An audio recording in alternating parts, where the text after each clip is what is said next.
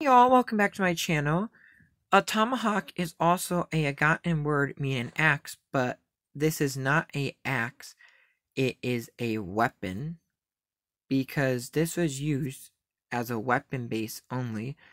The Native American Indians used it way back in the day. It goes back a long way, a tomahawk. And the handle would go in from the top on the older tomahawks.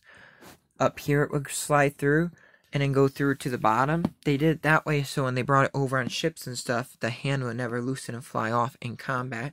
It was used for hand to hand combat in many different ways. And the tomahawk also was used up until World War One and Two. Then they used it again in the Vietnam Vietnam War and the Iraqi and Afghanistan War. And Congress made it a law you needed a saber or a tomahawk to carry with you up until World War One and two. Then it ended until the Vietnam War and the Iraqi and Vietnam War. No, the Iraqi and Pakistan War. Now, I do apologize for getting tongue tied right there at the wars, but it's a long day and I've been trying to do this video for y'all, but it was background noise. The coyotes and everything came out in the yard, so I had to redo it. But the tomahawk is made as a thin blade. You cannot use it to split wood. Some people say you can, but it's not strong enough to. It can do small pieces, but not good. The tomahawk is used strictly as a weapon, and this one is a United States Marine tomahawk. Here's the casing to it. Right here. Tomahawk goes back a long ways, and thank you to the gentleman who sold this to me at the garage sale. It was his brother's and tomahawk has came a long way like way way back in date was a stone and then they went to steel a steel head the tomahawk has been around for many years.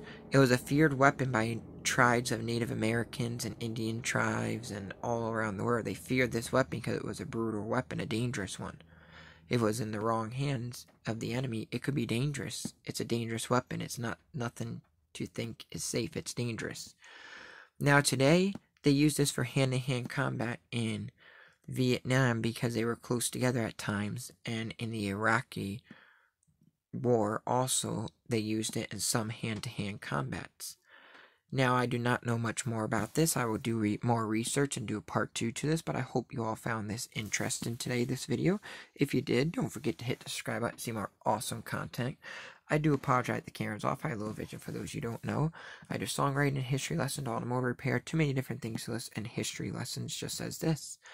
This will stay in my collection for a long time because it means a lot to me now that I know the history about it. Unless the original owner wants it back, the gentleman who sold it to me, he might want it back in the future, and I would definitely make a deal with him, give it back to him for he sold it to me because he was a nice gentleman. But I look forward to seeing you all in the next cool video once again, the Vietnam War is when they came back, and the Iraqi and Afghanistan War they used them in.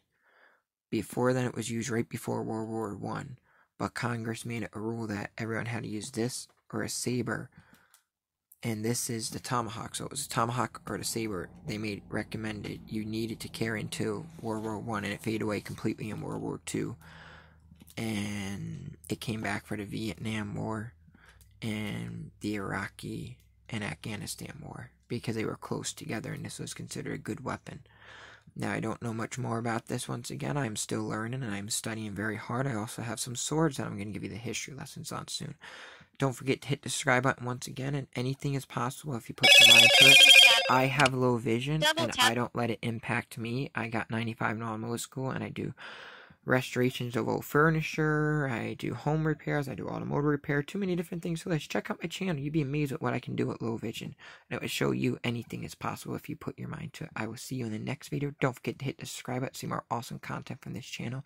And stay safe out there. And peace. Shutter.